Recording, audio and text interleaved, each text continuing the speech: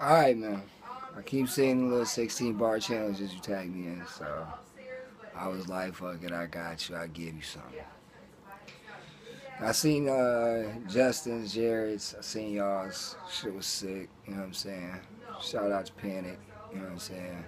Shout out to Dirt Low, whatever. But, uh, alright, here we go. Let's get into this shit real quick. Oh, by the way, it's JR, Bad Influence. Check out the YouTube page, JR Bad Influence. Uh, Instagram, JR, aka Mr. Bad Influence. Twitter, JR, aka Mr. Bad Influence. You know what I'm saying? Make sure you check all those out. Got a bunch of videos on there. But, yo, check me out.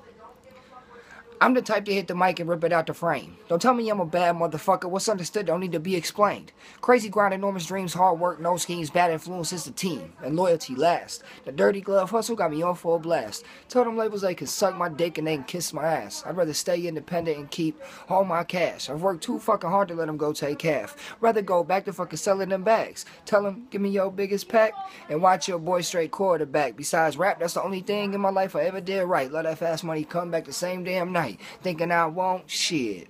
Motherfucker, we all will. Familiar how them highways feel, cause a 9 to 5 ain't gonna cut it, gotta pay the bills. I'll rob if we cool, I'll never steal. Talk shit, fuck talking or you getting killed. And y'all fake as fuck.